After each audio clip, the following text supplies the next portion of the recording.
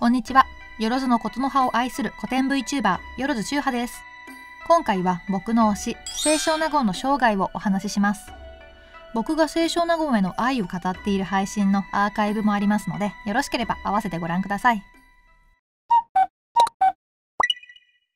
清少納言は平安時代中期の作家です。生まれた年は不明ですが、西暦966年頃ではないかと言われています。父親は有名な歌人清原の元助。36河川の一人であり五千和歌集の編纂を行った那須壺の5人の一人でもあります。百人一首のちぎりきな片身に袖を絞りつつ末の松山波小さじとはという和歌の作者です。さらに曽祖父の清原の深藪も有名な歌人で夏の夜はまだ酔いながら明けぬるを雲のいずこに月宿るらんという和歌が百人一首に収録されています。そんな歌読みの家系である清原家に生まれたのが清少納言でした。本名は清原の凪子ではないかという説がありますが証拠が薄いので真偽は不明です。清少納言の夫は橘の則光。清少納言の1歳年上と言われています。2人の間には息子が1人いますが則光とは性格が合わず離婚。別れてからも友人としては良い関係を築いていたようです。兄と妹のようだったと枕草子に記されています。そして28歳頃清少納言は中宮帝子に仕え始めました。帝子は当時の天皇一条天皇の妃で時の権力者藤原道隆の娘です。この時帝子は18歳一条天皇は14歳でした。帝子の母であり道隆の妻は高階の騎士。法のない死と呼ばれており一条天皇の父円遊天皇に仕えていた女官でした。義道三子の母の名前で忘れじの行く末までは固ければ今日を限りの命ともがなという和歌が百人一首に収録されています。高階家は学者の家で道隆とは宮中で出会い結婚しました。河野内氏は子供たちに対して教育熱心な母親だったようで亭主も女性ながら勉強のできる頭の良い妃でしたそんなところが夫の一条天皇に好かれたようですそして同じく監視の知識があり頭の回転も速い清少納言と意気投合することになります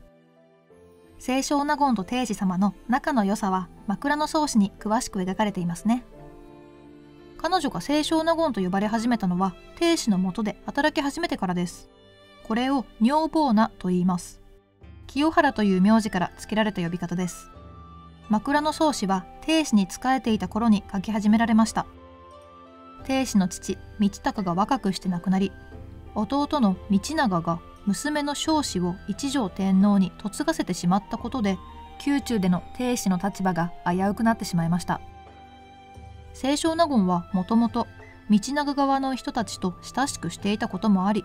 亭主に仕えている他の女房たちから裏切りを疑われてしまいます。そのせいで一時期実家に引きこもってしまった清少納言でしたが亭主から信頼しているという手紙をもらったことで再び亭主のもとに戻る覚悟を決めます。そんな状況下で書き始められたのが枕草子でした。やがて亭主は体も弱っていき出産の際に命を落としてしまいます。まだ24歳という早すぎる死でした。清少納言や一条天皇たちが深く悲しんだことは想像に難くありません。ですが枕草子にはそんな亭主の姿は一切書かれていません。清少納言が枕草子で伝えたかったのは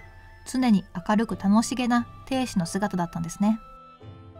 亭主が亡くなってから清少納言は藤原の宗代と再婚し駒の名部という娘を産んだとされていますが詳しいことはよく分かっていません。表舞台から姿を消してしまうのです。ちなみに娘の駒の名部は女房として少子に仕えたようです。源氏物語の作者である紫式部とライバルのように扱われることが多いですが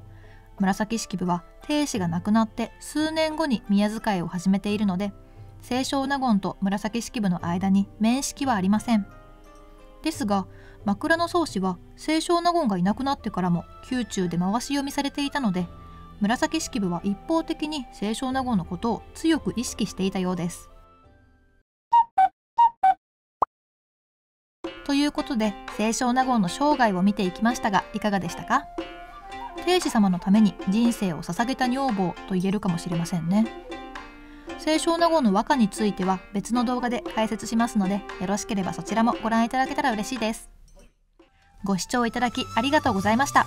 面白かったという方はチャンネル登録と高評価をお願いします。ではまた次の動画でお会いしましょう。